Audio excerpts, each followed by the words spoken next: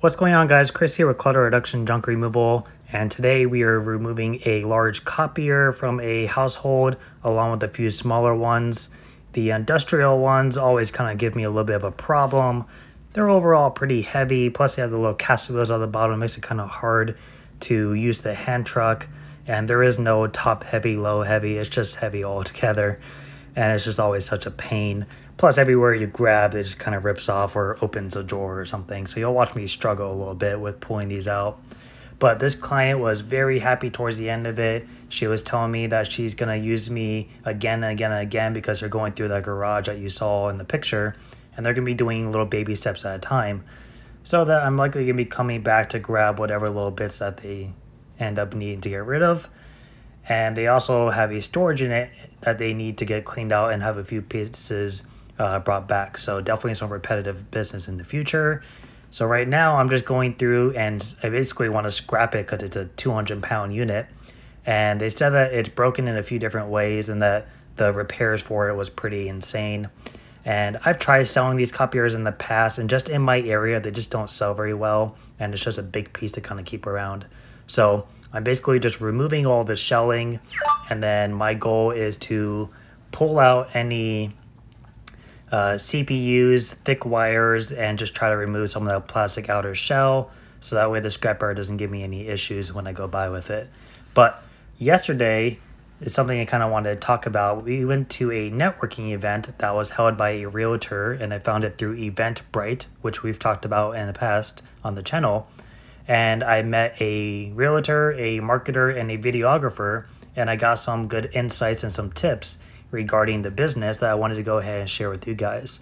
So I'll go ahead and put that in towards the end. So stay tuned for those tips. In the meantime, I'm going to go ahead and plug the realtor's information in the description. He is local to South Florida. If you guys live down here, he has a YouTube channel with I think about 5,000 subscribers.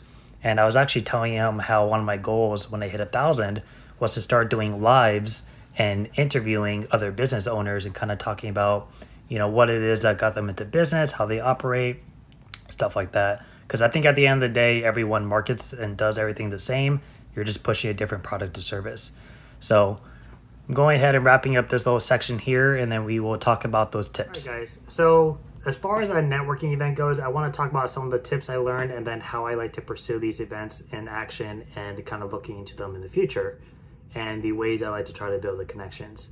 So right off the back, Eventbrite, I've talked about it before in some of my other videos as far as marketing and networking goes. I will put it down in the description, but I do recommend checking it out no matter what area you're in. I believe it's throughout the country, but it's a very beneficial app that can show you networking events, uh, business workshops, seminars, webinars, volunteer events that may just be good for getting your business out there in public. So I would recommend checking it out. The one I went to last night was hosted by a realtor who is local and has a YouTube channel as well. And I was kind of just talking to him a little bit about YouTube, and then we were talking about um, just some of the things he's been going around and doing with the networking events, and he tries to do like once a month. So that would be kind of cool to continue going to. He had a pretty good turnout, so I'm assuming they're all like that. Um, I also ran into a marketer who actually just emailed me about following up and doing coffee at some point, which is perfect because I was going to message her later this afternoon as well. And that's one of the things to do is make sure you're following up with the connections you make. Don't just hand someone your card and like never talk to them again. You know, you want to actually follow up and remind them that you're here. And then the videographer I was talking to gave me some good pointers that I found to be very helpful, and I think they'll help you guys out as well. So as far as the events go, I try to make it a point to walk away with at least three connections. Not so much like, here's my card, take my card, blah, blah, blah, but actually getting to know somebody to where if I were to go to the store right now and see them, I could be like, oh, hey, John, how are you doing? Funny running into you here. I'm like, oh, hey, Chris, it was nice meeting you last night. And you could pick up a conversation again. So I try to build those kind of relationships. And I'm not the best. I'm not the most extroverted. My girlfriend definitely carries a lot of the weight in our relationship when it comes to, um, you know, chit chatting to people we don't know. But once I get into a topic I'm familiar with, like junk removal, I can actually be quite, you know, talkative. So it's definitely a learning curve for me as well, and definitely something I'm getting more and more comfortable doing. And I've learned from the realtor last night that the best thing to do at these networking events is just go talk to any, like everyone. So, for example, last night he introduced us to a videographer.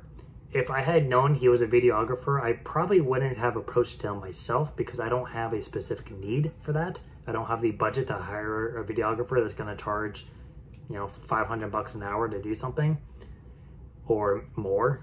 Like there's one, I know a guy who charges $3,000 for two hours of work. He does really great work, but $3,000 is a lot of money. And I'm not saying you can't get results from doing something like that, but it's just not in my budget. So, you know, I do want to do like a 15 to 30 second ad at some point in the future, like a video ad kind of showing me like arriving at a job, bringing out some big pieces by myself, dealing with a happy client, leaving, blah, blah, blah, super basic. But I probably wouldn't have approached him like just because. So when he introduced us to him, at first I was like, okay, cool, you know, what do you do? And he was asking me vice versa. And I was like, oh, okay. And um, I had mentioned that I do the YouTube. Well, actually, my girlfriend mentioned he has a YouTube channel. And she, he was like, oh, like, what are your analytics? And I was like, oh, I don't know that. And then we started talking about analytics and like ways to kind of boost everything. And then he was talking about Facebook and he mentioned a few things about the ads that I thought were really interesting. So the biggest one was you can look up the tag that you're looking for, so junk removal for us, and you can look at top trending ads, and then from there, look at what their style ad is. Is it a video ad? It, like, is the video talking about something specific? Is it very minimalist when it, like, the wording? Is it more lengthy? Is there a discount? Is there a promo listed right off the back? What's the title of it? Does the title match the video, the picture perfectly? Look at it and then mimic it to your own and just adjust the wording a little bit but there's a good chance that if that's a top trending ad, it's for a reason, and you can try to convert that to yourself. So it's a little bit like a cheat sheet.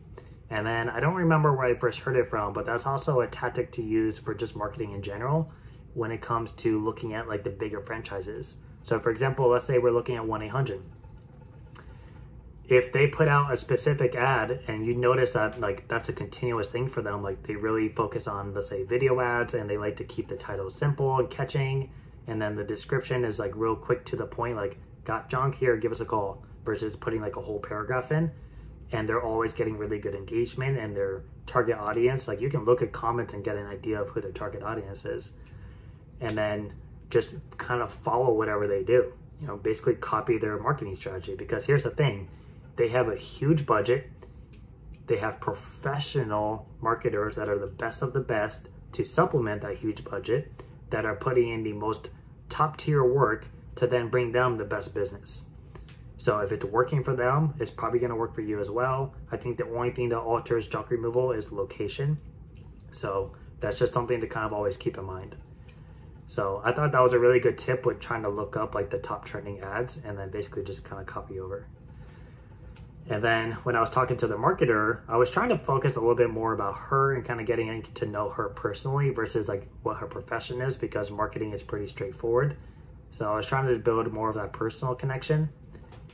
But she mentioned that the most important thing she finds to be, because she likes to work with small startup businesses, is to make sure that your roadmap is very geared towards your goals, like your end result goals. So like everyone who starts a business obviously wants to build their clientele, they want to get more money, they want to get more volume. But what's your end result? You know, do you want to be making, you know, a hundred thousand a year, five hundred, a million a year? Do you want to be pulling in thirty thousand a month? Do you want to open up multiple franchises? Do you want to have a fleet of like five, ten trucks? Do you want to stay small and just have a couple guys run for you so you can better your scheduling?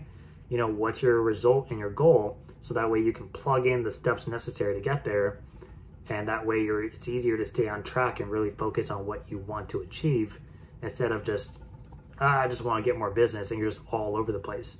You know, it's like casting a really broad net hoping you catch something whereas if you were to focus on one specific area and put all of your effort towards it, how more likely are you to pull more valuable connections out of that? So I found that to be a little bit of a reminder and then also a little bit more eye-opening too that she was so heavily focused on that specifically out of everything else. So definitely uh, useful information.